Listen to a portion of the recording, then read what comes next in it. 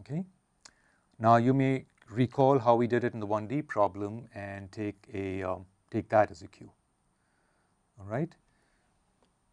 Can you think of how to do it? Right. What we need to do is recall the mapping.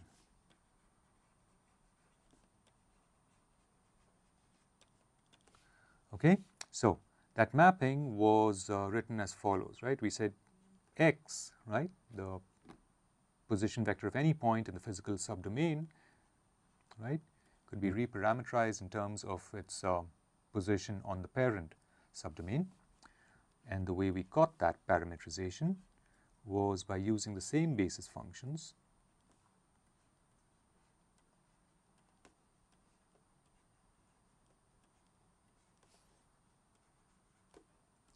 To uh, expand to, to, to interpolate if you want to use that term to interpolate the physical coordinates of the nodes where A now follows the local numbering.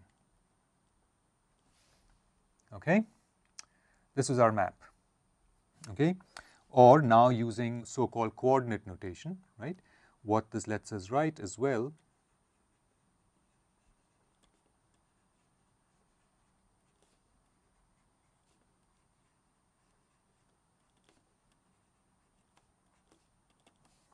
right? What we know is x sorry. Each x little i component right can be parameterized by the full c vector xi1 xi2 c3, and this is then just sum a going from 1 to number of nodes in the element n a C X A um, for element E, but now component I of the X vector, right? I've done, I've really written the same thing in both the equations except that in the first case it's direct notation, in the second case it is using coordinate notation, right? And this is this. Okay, from here, just as we did in the 1D problem, we can go ahead and compute um, partial of xi with respect to c capital I, right, which is just sum over the nodes in the element. Now, n a comma I, capital I, X, A, E, I, right? You note that there is a proliferation of indices here, right? There are superscripts and subscripts all over the place. The subscript for the element E is just coming along for the ride here. It's really not doing much for us right now. Okay? All right. So this is how we compute this uh, derivative. Now, uh, of course, this doesn't help us uh, immediately because uh, when if you recall the, uh, the form that the chain rule takes as shown here, what we need is actually the inverse of that uh, gradient, right? Because we need the derivative of ci with respect to xi, right? The thing marked with a question mark. All right, so how do we go about that?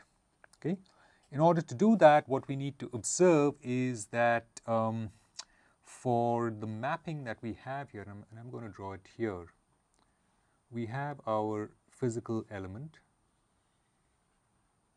our element in the physical domain,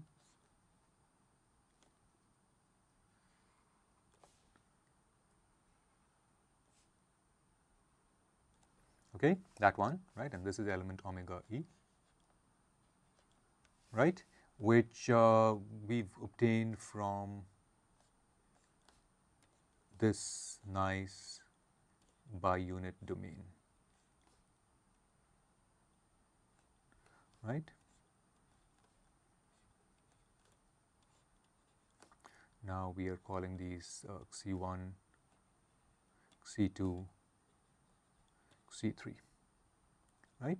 And what we've done essentially is to observe that for any point here in that domain, we and given an arbitrary point C in the parent subdomain, we actually have a map, right? Okay, and that map is x of C, right? Now, that is a vector map, okay? In the context of uh, looking at configurations, um, especially if you have a background in continuum mechanics or some other field where you're looking at configurations and their mappings, this is what we call a point-to-point -point map. Okay, so this is a point to point vector map. It's almost superfluous to say vector there because our, our representation of points here is indeed as vectors, right? We're using position vectors. Okay, so uh, what that tells us is that we can compute the, the gradient of that map. Okay, the, the gradient of the map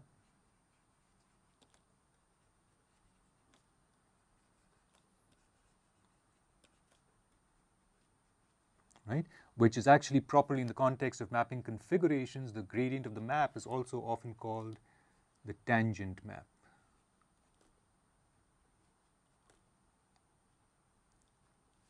Okay? Okay, the tangent map is uh, what I'm going to denote as a tensor, right? Because um, x is a vector, c is a vector, we're going to compute the gradient of x with respect to c, uh, that gives us a tensor. Okay, so J is uh, this derivative.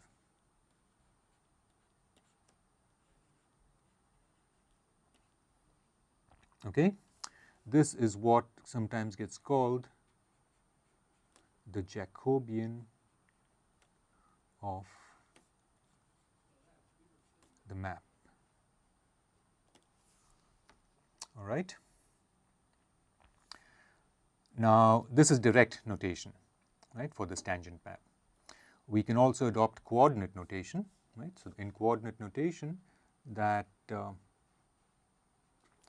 tangent map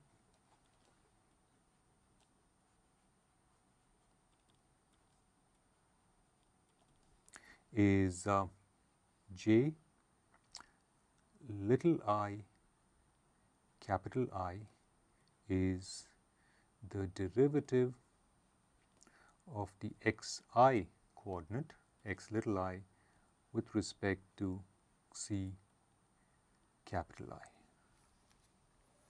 Okay? Right? Now, if you've uh, studied continuum mechanics, you will recognize that to be something. Right, that is essentially the deformation gradient from continuum mechanics, okay, from the kinematics of continuum mechanics. Anyhow, we're not going to use that nomenclature, we'll just call it the Jacobian of the map, right, which is what it is mathematically. Okay, um, now again, it's, it's, it's a sort of um, a detail of uh, a formal or, or, or, rigorous detail to observe that, well, you can truly represent a tensor only if you have a basis, and if you have a basis, you can then represent tensors as square matrices. Okay? That is actually a carefully constructed argument, but we don't need to go into that argument, right? So we can represent it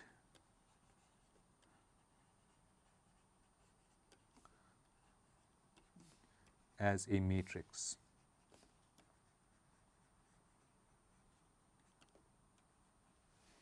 Okay?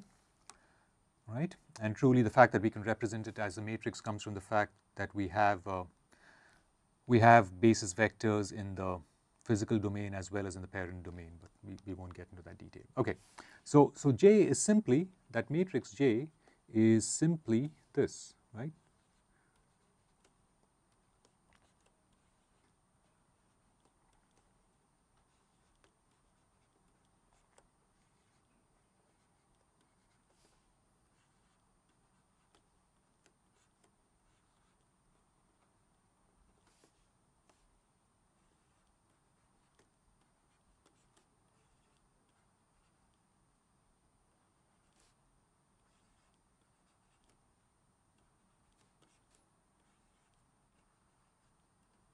Right? And of course, there are terms here.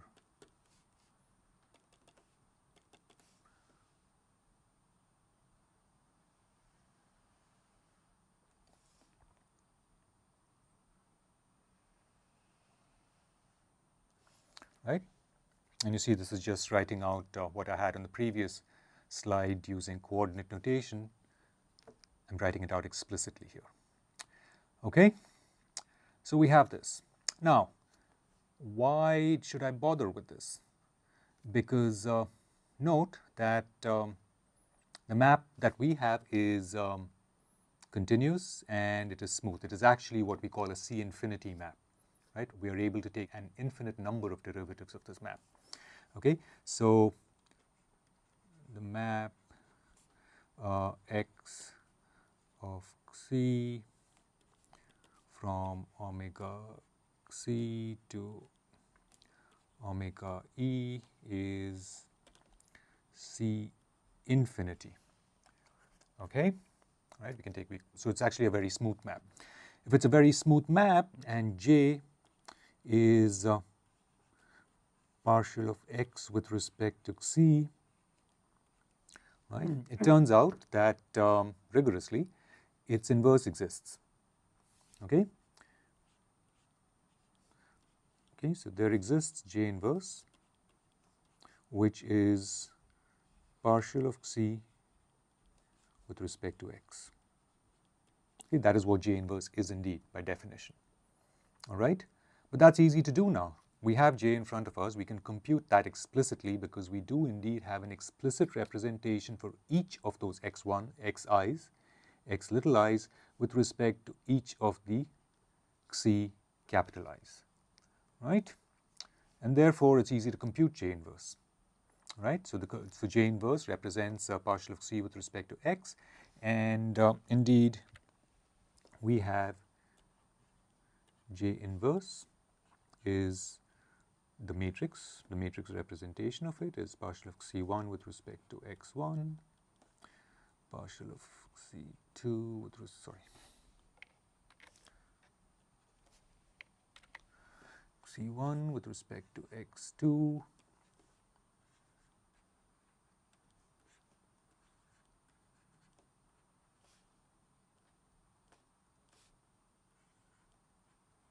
right, all the way to, to, to, to this last 3 3 component.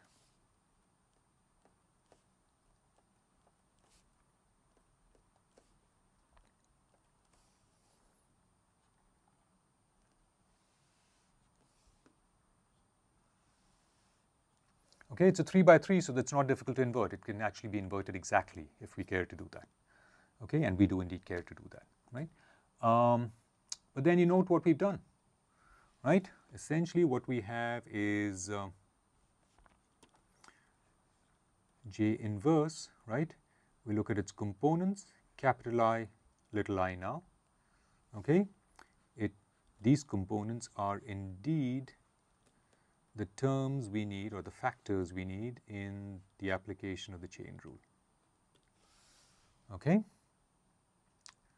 All right. So the key here is that because of the fact that we are explicitly constructing that map, right, the vector to vector point map, x is a function of c, we can compute the tangent map. It's just a 3 by 3, easy enough to handle, can be explicitly inverted, right, in closed form. And uh, the components of that inverted matrix are indeed the ones that we need for our chain rule. Okay, this is actually an excellent place to stop this segment.